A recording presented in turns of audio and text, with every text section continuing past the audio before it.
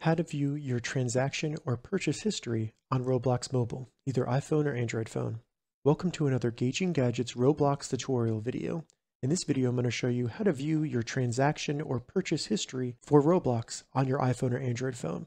And this includes not only things that you purchased that cost money or Robux, also for anything free that you purchased as well. All right, so to get started with viewing your transaction or purchase history on Roblox Mobile, it actually is not possible to do this within the Roblox mobile app on our iPhone or Android phone. So what we need to do is open up the browser on our iPhone or Android phone and navigate to roblox.com.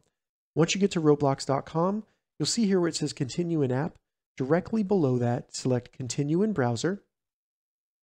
If you're prompted to log in, go ahead and log into your Roblox account. And then once you actually get to Roblox right here, select the Robux icon in the top right. And then where it says how many Robux you have, select that right above buy Robux.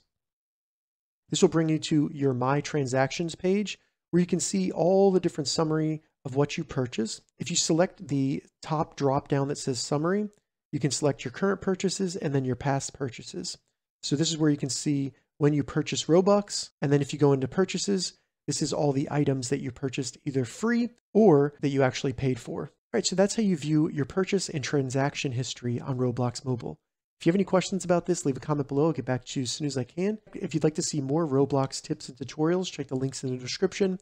If this video helped you, give it a thumbs up, and please consider subscribing to my channel, Gauging Gadgets, for more gadget reviews and tech tutorials. Thank you so much for watching.